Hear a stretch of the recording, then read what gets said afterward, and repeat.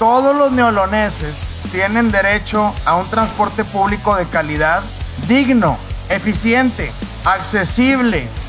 Y estas acciones que suman el esfuerzo de ustedes y el de nosotros nos hace ver que estamos trabajando por el bienestar de nuestras familias en Nuevo León.